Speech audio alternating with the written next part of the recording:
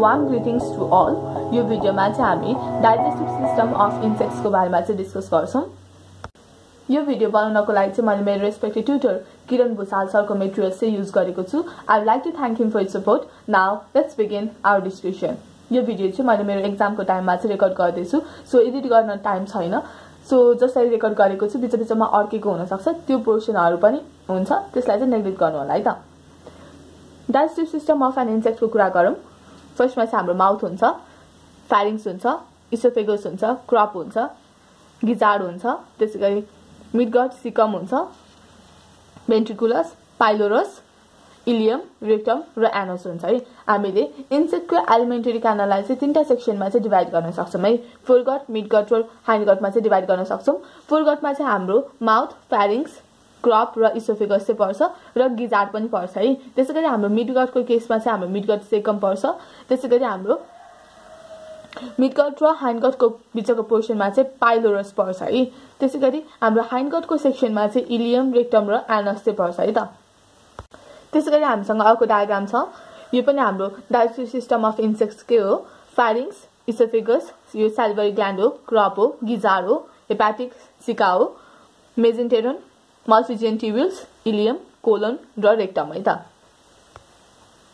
digestive system of insect digestive digestive system includes alimentary canal है इन्सेक्टको digestive सिस्टममा चाहिँ एलिमेन्टरी क्यानलको बारेमा चाहिँ हामी डिस्कस गर्छौँ एलिमेन्टरी क्यानल भनेको चाहिँ लङ ट्युब लाइक स्ट्रक्चर हो that runs from mouth to the anus and is centrally located within the body cavity or haemocoel है एलिमेन्टरी क्यानल भनेको चाहिँ ट्युब लाइक स्ट्रक्चर हो जुन चाहिँ माउथदेखि एनससम्म चाहिँ रन हुन्छ है माउथबाट एनससम्मको पोर्सनलाई चाहिँ हामीले एलिमेन्ट्री क्यानल भन्छौँ।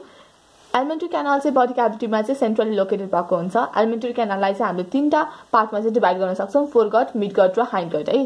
फोरगट भनेको चाहिँ एन्टेरिमस रिजन हो। फोरगटलाई चाहिँ हामीले स्टोमोडियम पनि भन्छौँ। मिडगटलाई हामीले मेजेन्टेरियन भन्छौँ। हाइन्डगटलाई हामीले प्रोक्टोडियम भन्छौँ है। स्टोमोडियम अर फोरगटको कुरा गर्दाखेरि चाहिँ फुलगटको केसमा चाहिँ हाम्रो बकल क्याभिटी इसोफेगस र क्रप पर्छ। यसको प्राइमरी फङ्सन भनेको चाहिँ to begin the breakdown of the food particles and transport them to the next region है। त्यसै गरी हाम्रो नेक्स्ट भनेको चाहिँ मेजेन्टेरियन अर मिडगट छ। मेजेन्टेरियन अर मिडगट भनेको चाहिँ मेजर एरिया अफ डाइजेसन र एब्जर्प्सन हो है। त्यसै गरी हाम्रो थर्ड पोजिसन भनेको चाहिँ हाइन्डगट अथवा प्रोक्टोडियम छ। हाइन्डगटलाई चाहिँ हामीले फर्दर इलियम कोलोन रेक्टम र रेक्टल प्याथ्समा चाहिँ क्लासिफाई गर्न सक्छौँ। Undigested food particles passes through this region है। ह्यान्डगुडको केसमा चाहिँ अनडाइजेस्टेड भएको फुड पार्टिकल्सहरू चाहिँ पास हुन्छ। यसको फङ्सन भनेको चाहिँ वाटर र सोलिडको चाहिँ रिएब्जर्प्सन हो र वेस्टको चाहिँ एक्सक्रिसन हो है त। नेक्स्ट भनेको चाहिँ हाम्रो फोरगट अर स्टोमोडियम छ। फोरगटहरू चाहिँ इक्टोडर्मल इन ओरिजिन हुन्छ। इन्टरनल क्युटिकुलर लाइनिङ चाहिँ प्रेजेन्ट हुन्छ है। इन्टरनल क्युटिकुलर लाइनिङ प्रेजेन्ट भएको कारणले चाहिँ फोरगटको केसमा एब्जर्प्सन चाहिँ हुँदैन है। Behind the mouth a well musculated organ called pharynx is present है माउथको पछाडि चाहिँ हामीले फिगरमा नि हेरेको थियौँ फिगरमा नि हेरेको थियौँ द्याट इज फ्यारिङ्स चाहिँ प्रेजेन्ट छ फ्यारिङ्सको फङ्सन भनेको चाहिँ फुडलाई चाहिँ इसोफिगसमा चाहिँ पुर्याउने हो र यदि स्याप फिडर्सहरू छ भने चाहिँ फ्यारिङ्सको फङ्सन भनेको चाहिँ सकिङ पम्पको रूपमा चाहिँ काम गर्छ है त्यसै गरी oesophagus is a narrow tube which conduct food into the crop है इसोफिगसले चाहिँ फुडलाई चाहिँ त्यस पछाडि क्रपमा चाहिँ पास गर्ने काम गर्छ है यो चाहिँ न्यारो ट्युब हो crop is the dilated distal part of the oesophagus है इसोफेगसको डाइलेटेड पार्ट है इसोफेगसको डिस्टल पोर्सनको है पछाडिको पोर्सनको डाइलेटेड पार्ट भनेको चाहिँ क्रप हो। क्रप चाहिँ फुड रिजर्भको रूपमा काम गर्छ र यदि बीजहरू छ भने चाहिँ बीजहरूको केसमा चाहिँ क्रप चाहिँ हनी स्टोमकको रूपमा चाहिँ काम गर्छ जहाँनिर चाहिँ नेक्टरको चाहिँ कन्भर्सन चाहिँ हुन्छ है? त्यसै गरी त्यस पछाडि चाहिँ हाम्रो प्रोभेन्टिकुलर्स अथवा गिजार्ड चाहिँ छ। गिजार्ड भनेको चाहिँ फोरगटको चाहिँ पोस्टियर पार्ट हो र वेल मस्कुलेटेड हुन्छ। गिजार्डको फङ्सन भनेको चाहिँ ग्राइन्डिङमा चाहिँ हेल्प गर्छ गिजार चाहिँ हामीले सोलिड फिडर्सको केसमा चाहिँ पाउँछौँ र लिक्विड फिडर्स अथवा फ्लुइड फिडर्स र स्याप फिडर्सको केसमा चाहिँ हाम्रो गिजार चाहिँ प्रेजेन्ट हुँदैन है एकचोटि फेरि डायग्राम हेरौँ त फोरगटको केसमा हामीसँग माउथ छ फ्यारिङ्स छ इसोफेगस छ क्रप छ र गिजार छ है त क्रप भनेको चाहिँ अलिक डाइलेटेड पोर्सन हो है इसोफेगसको पछाडिको पोर्सन हो र यो डाइलेटेड पोर्सन ठुलो अलिकति ठुलो भएको पोर्सन हो र यसको फङ्सन भनेको चाहिँ स्टोर गर्नमा चाहिँ हेल्प गर्छ है क्रपले चाहिँ स्टोरेजमा चाहिँ हेल्प गर्छ food flow from foregut to midgut is regulated through यहाँनिर कार्डियाक लेखेको छु है। मैले सिआर डिआइएसी जब चाहिँ फुड चाहिँ फोरगटबाट चाहिँ मिडगटमा जान्छ तब चाहिँ cardiac or oesophageal oesophageal valve through चाहिँ जान्छ है सो एक्जाममा एमसिक्यूमा सोध्ने क्वेसन भनेको चाहिँ food flow from foregut to midgut through which valve भनेर सोध्न सक्छ है अथवा फिल्ड ब्ल्याङ्क्समा भलको नाम भनेर भलको नाम लेख्न चाहिँ भनेर चाहिँ सोध्न सक्छ सो। यो पोइन्ट चाहिँ याद गर्नु पऱ्यो है कार्डियाक अर इस्टोफेसियल भल भनेर चाहिँ मेमोराइज गर्नु पऱ्यो it reduces the rigour regurgitation of the food from my midgut है। मिडगटबाट फुडको फ्लो ब्याक फ्लो हुनलाई चाहिँ रिड्युस गर्ने काम चाहिँ यो भावले चाहिँ गरेको हुन्छ है। इसोफेजियल अथवा कार्डियाक भावले चाहिँ गरेको हुन्छ। त्यसै गरी हामीसँग मिडगट अर मेजेन्टेरियन छ। मिडगट अर मेजेन्टेरियनको कुरा गर्दाखेरि चाहिँ योसँग चाहिँ क्युटिकुलर लाइनिङ चाहिँ हुँदैन। सो यो पोर्सनमा चाहिँ एब्जप्सन चाहिँ हुन्छ है। This region is also called as stomach or ventriculus पनि भन्छौँ। मिडगटमा पाइने इम्पोर्टेन्ट स्ट्रक्चरको कुरा गर्दाखेरि चाहिँ पेरिट्रपिक मेम्ब्रेन हुन्छ।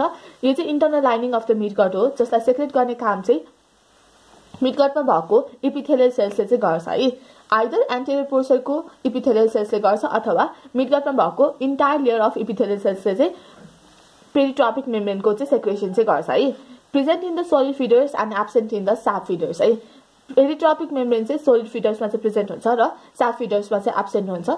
यो पेरिट्रपिक मेम्ब्रेन चाहिँ सेम पर्मेबल इन नेचर हुन्छ to digestive juices and digestion products है। It lubricate and facilitate food movement lubrication provide गर्छ र फुड मुभमेन्टमा चाहिँ फुड मुभमेन्टमा चाहिँ हेल्प गर्छ। त्यसै it envelops the food and protects the midgut epithelial cells against the harder food particles है। Peritrophic मेम्ब्रेनको function भनेको चाहिँ फुडलाई चाहिँ इन्भेलप गरेर चाहिँ पेरिट्रपिक मेम्ब्रेनको फङ्सन भनेको चाहिँ इपिथेलियल सेल्सलाई चाहिँ प्रोटेक्ट गर्ने हो है जुन सोलिड फुड पार्टिकल्सहरू हुन्छ हार्डर फुड पार्टिकल्स हुन्छ त्यो फुड पार्टिकल्सबाट चाहिँ इपिथेलियल सेल्सलाई चाहिँ प्रोटेक्ट गर्ने काम चाहिँ पेरिट्रपिक मेम्ब्रेनको चाहिँ फङ्सन हो है त्यही भएर पेरिट्रपिक मेम्ब्रेनहरू चाहिँ सोलिड फिडर्समा चाहिँ प्रेजेन्ट हुन्छ र साफ फिडर्समा चाहिँ एब्सेन्ट हुन्छ है साफ फिडर्सको केसमा कन्ज्युम भएको प्रोडक्टहरू त सबै साप हुन्छ अथवा लिक्विड हुन्छ नि त। सो त्यो लिक्विड अथवा सापले त इपिथेलियल सेल्सलाई ड्यामेज गर्दैन त्यही भएर पेरिट्रपिक मेम्ब्रेन चाहिएन है? तर सोलिड फिडर्सको केसमा चाहिँ इपिथेलियल मेम्ब्रेन्सलाई चाहिँ प्रोटेक्ट गर्नको लागि चाहिँ हामीसँग पेरिट्रपिक मेम्ब्रेन चाहिँ प्रेजेन्ट हुनुपर्छ है? त्यसै गरी हाम्रो नेक्स्ट पार्ट भनेको चाहिँ ग्यास्ट्रिक सिका छ। ग्यास्ट्रिक सिका चाहिँ तपाईँहरूले पिक्चरमा पनि देख्न सक्नुहुन्छ। ग्यास्ट्रिक सिकालाई चाहिँ हामीले इन्टेरिक सिका अथवा हेपाटिक सिका पनि भन्न सक्छौँ। Finger like outgrowth found in the anterior or posterior end of the midgut है? यो चाहिँ फिङ्गर लाइक आउट ग्रोथ हो जुन चाहिँ हाम्रो मिड गटको एन्टेरियर अथवा पोस्टर इन्डमा चाहिँ प्रेजेन्ट हुन्छ। यो स्ट्रक्चरले चाहिँ सिम्बायोटिक ब्याक्टेरियाहरूलाई चाहिँ सेल्टर चाहिँ प्रोभाइड गर्छ है this structure increases the functional area of the midgut and shelter symbiotic bacteria in some insects भनेको चाहिँ मिडगटको फङ्सनल एरियालाई इन्क्रिज गर्छ र सिम्बायोटिक ब्याक्टेरियाहरूलाई चाहिँ सेल्टर चाहिँ प्रोभाइड गर्ने काम गर्छ ग्यास्ट्रिक सिकाको फङ्सन भनेको चाहिँ secrete the digestive juices to facilitate digestion है डाइजेस्टिभ जुसेसहरू चाहिँ सेक्रेट गरेर चाहिँ डाइजेसनमा चाहिँ हेल्प गर्ने हो त्यस गरी हामीसँग अर्को भनेको चाहिँ पाइलोरिक भल्भ छ पाइलोरिक भल्भलाई हामीले प्रोक्टोडियल भल्भ पनि भन्छौँ जब चाहिँ मिडगट चाहिँ ह्यान्डगटमा ओपन हुन्छ तब चाहिँ पाइलोरिक भल्भ थ्रु चाहिँ फुड चाहिँ रेगुलेट हुन्छ। है फुड चाहिँ फ्लो हुन्छ। In certain immature stages of the insects midgut midgut is not connected to hindgut till preparation है। इमेचुर स्टेजेस अफ इन्सेक्ट्सको केसमा चाहिँ मिडगट चाहिँ ह्यान्डगटसँग ह्यान्डगटसँग चाहिँ कनेक्ट हुँदैन till preparation for example honey bee क्रपको केसमा चाहिँ हुन्छ है। त्यसै गरी हामीसँग अर्को च्याम्बर अर्को पार्ट भनेको चाहिँ फिल्टर च्याम्बर छ।